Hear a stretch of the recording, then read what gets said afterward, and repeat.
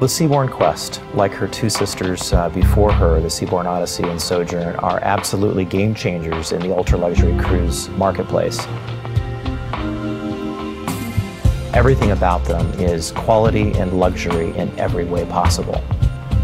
It's amazing to see that a piece of steel can actually transform into something so beautiful as a luxury cruise line.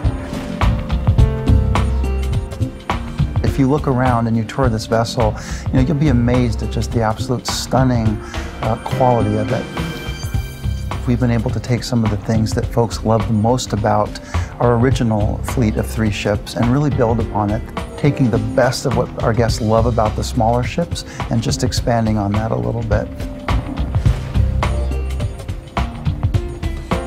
Well, our suites are really designed to be a home away from home. A walk-in closet, a personalized bar, space to really live, uh, space to be comfortable. You can entertain, you can have a cocktail party in your suite. Uh, they are absolutely terrific. One of my favorite um, areas of the ship is Seabourn Square.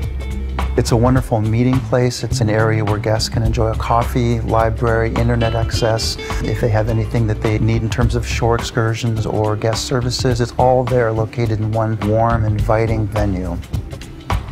The variety is what our guests enjoy. So if they feel like just being a private moment and they go observation lounge and they have a great drink there and listen to the pianist who plays their favorite songs.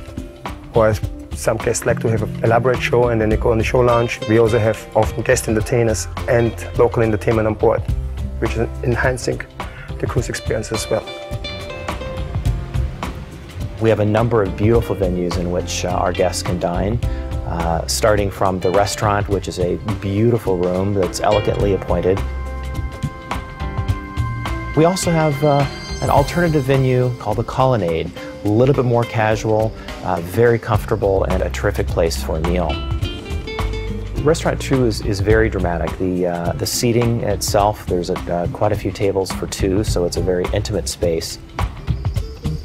Guests will find a lot more in the way of uh, shady areas for one thing, but also uh, larger pools, uh, a much larger sky bar area surrounding the pool, patio grill, just a place where people can really meet and interact during the daytime.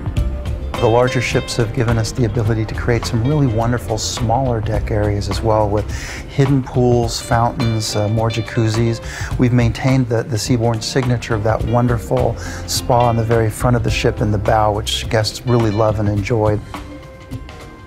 This is a huge spa and we have treatment rooms, we have uh, a beautiful spa villa where you can have a whole meal. We're gonna, you can book that for a whole day. You can have your treatments there, invite your family, invite your friends, like it's your own private yacht and nobody's around because that is privately for you.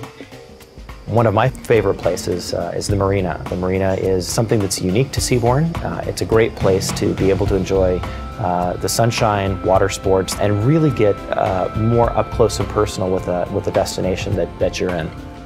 Our service approach is intuitive, it's personal, it's sincere, it's friendly, and uh, we understand at the core that everyone is an individual, everyone has different needs and different wishes, and it is simply our pleasure to be in service. So it's just beyond any ordinary service. It's, I would say, an unparalleled level of attentiveness and attention to details.